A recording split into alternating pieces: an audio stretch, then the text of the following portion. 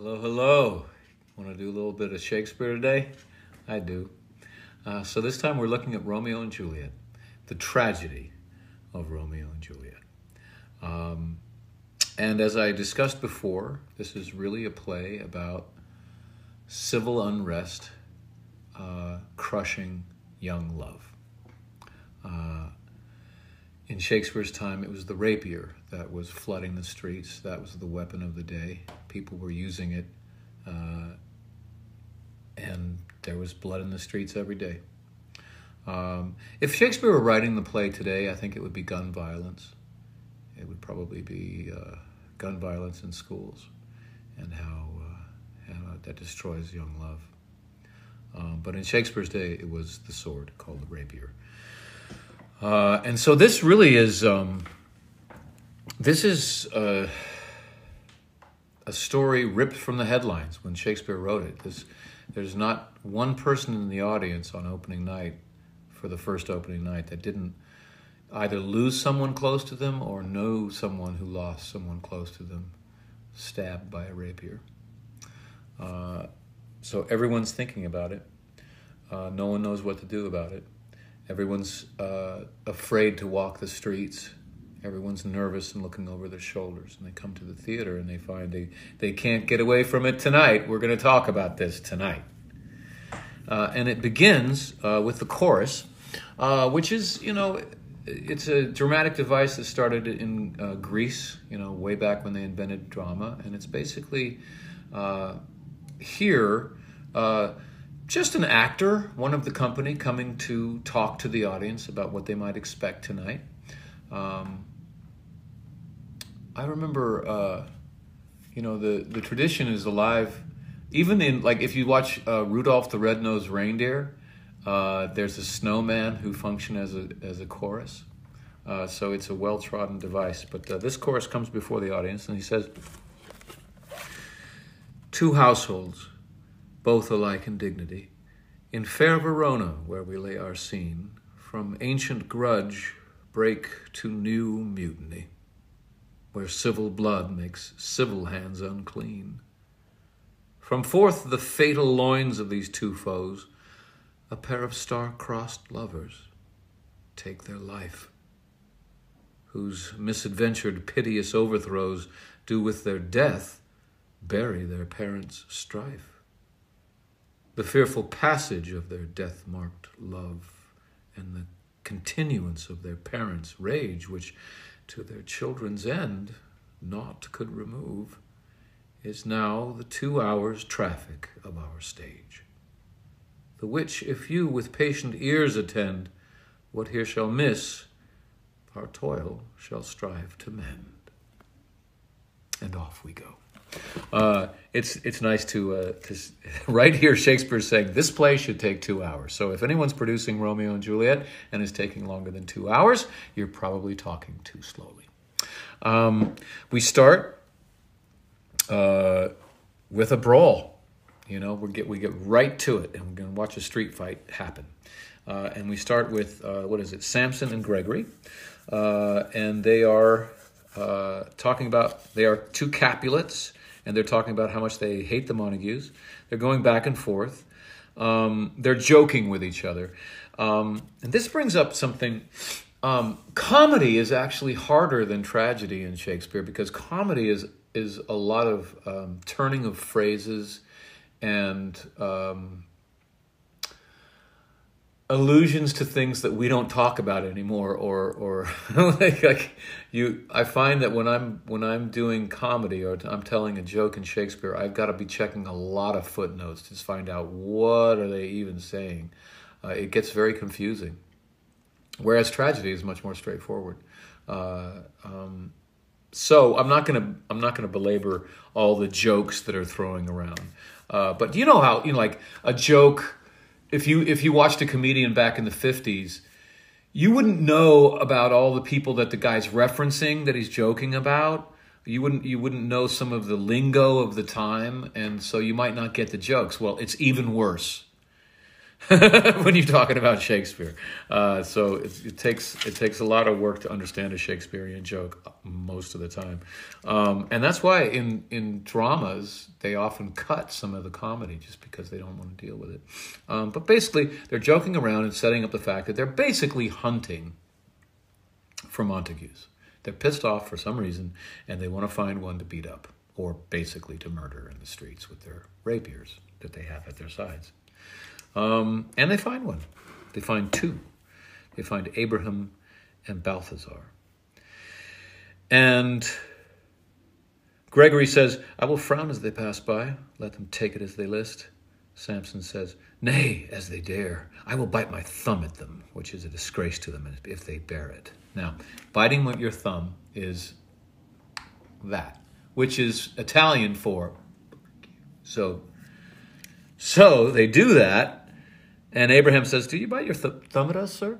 Which is, "Did you just flip us off?" Now, when they, when that happened at the theater, I'm, I'm sure the, the whole audience went, uh, like, "Here we go! I've seen this one happen on the streets. Did you just flip me off, man?"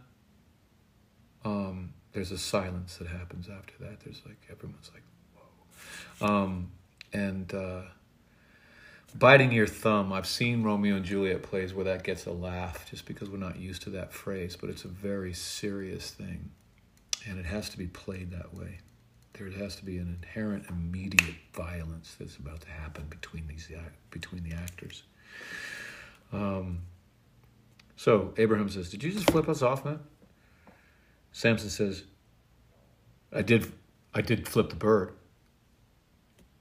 I'm paraphrasing.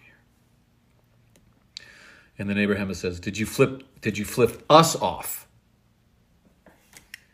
And then Samson turns to Gregory and says, "Is the law on our side if I say yes?"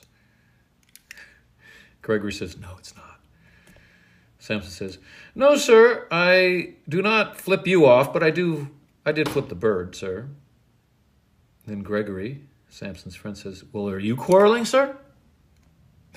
They're they're trying to pick a fight. Abraham says, Quarrel, sir? No, sir. Samson says, If you do, sir, I'm for you. I serve as good a man as you are.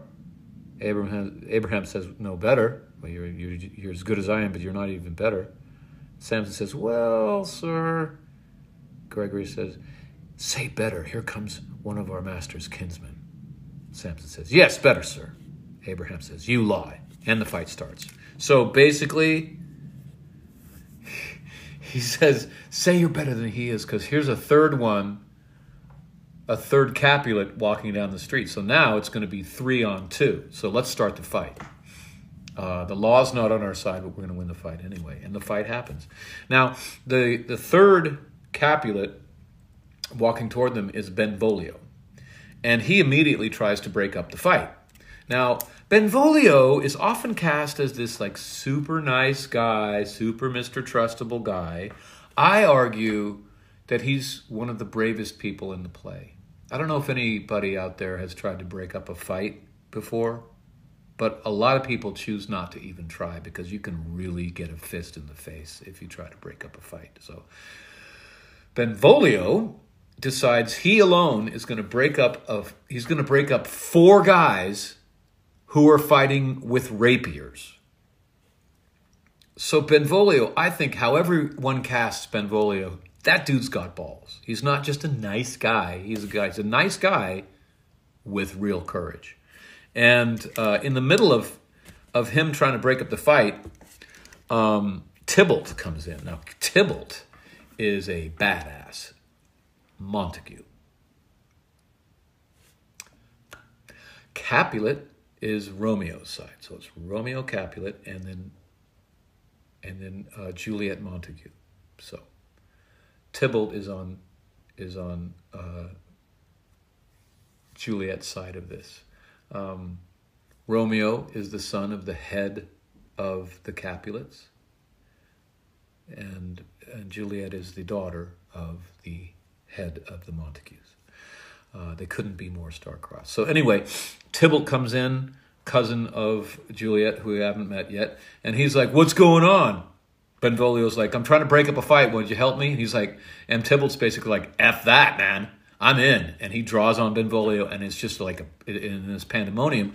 And they start fighting, and then suddenly the whole street erupts, and everybody's fighting each other. Not all just with, with rapiers, not everyone has one, but everyone's grabbing what they can, and they're trying to kill each other en masse.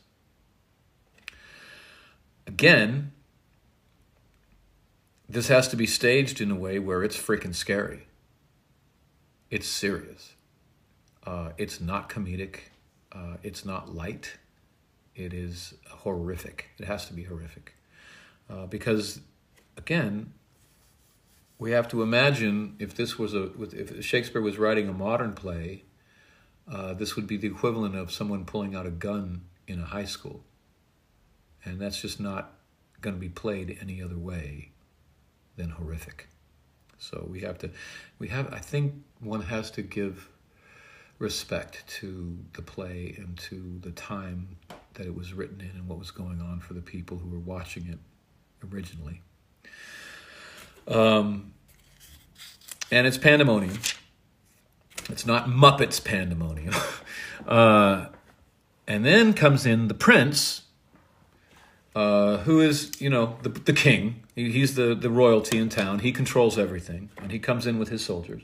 And he says, Cut it out. Enough.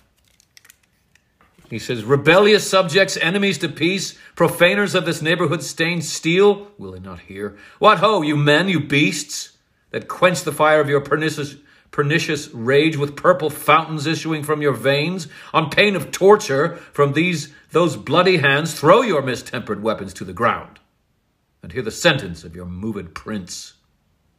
Three civil brawls bred of an airy word by thee, old Capulet and Montague, have thrice disturbed the quiet of our streets.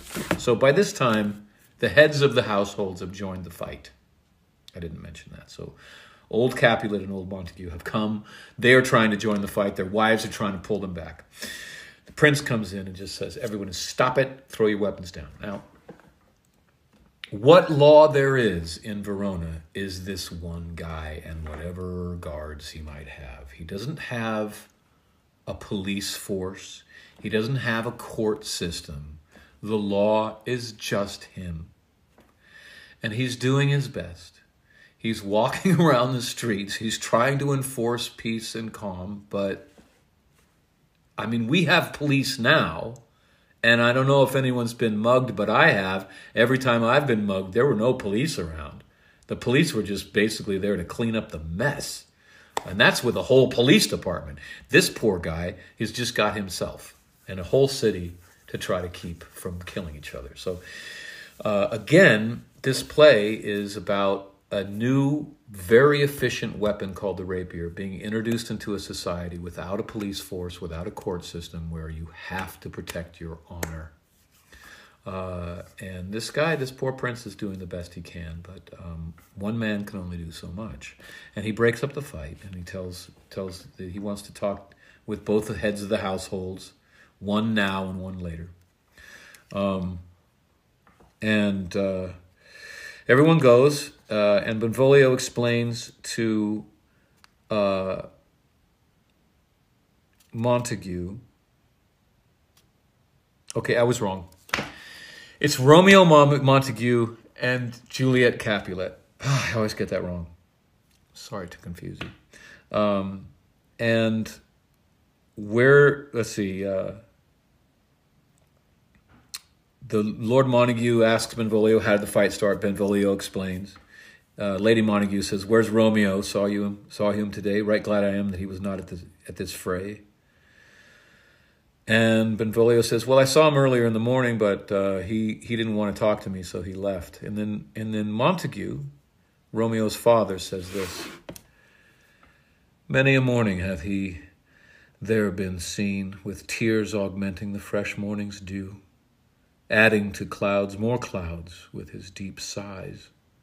But all too soon, as the all cheering sun should in the furthest east begin to draw the shady curtains from Aurora's bed, away from light he steals home, my heavy son, and private in his chamber pens himself, shuts up his windows, locks fair daylight out, and makes himself an artificial night. Black and portentous must this humor prove, unless good counsel made the cause remove. And they ask him, they ask Benvolio, who's Romeo's friend, to go talk to him and find out what's going on. And they leave. And uh, then Romeo comes in and we meet him, and he is sad. He is in love, uh, but he's in the suffering part of love because he's fallen in love not with not with Juliet, not yet. He's in love with a woman who has uh, who wants to be a nun. So she has made a vow to remain chaste all her life, and she's been rebuffing Romeo. And Romeo can't fall out of love with her. She's amazing, apparently, but but uh, but she's not available, and he's really suffering. And they talk about that for a while. Uh, it's basically just exposition, but we meet Romeo fully in love. He's obviously at a point in his life where love is going to be happening now. You know, he's a teenager, and uh, and he knows he's screwed. He knows that she can't be talked out of it, and he doesn't know what to do about it. He doesn't know how do I fall out of love with her. She's I can't stop her from being amazing. Benvolio's like, well, why don't you talk to other girls? And he's like, well, I tried that, but every time I talk to another girl, she who's just like passing fair, it just reminds me this she's not as amazing as the woman that I'm in love with. So it doesn't work. And they walk off together. Uh, and that's the first two scenes of Romeo and Juliet. And we will continue next week. Uh, and I hope that this has been a good beginning. This is a long video. I love to talk. Uh, anyway, thanks for listening.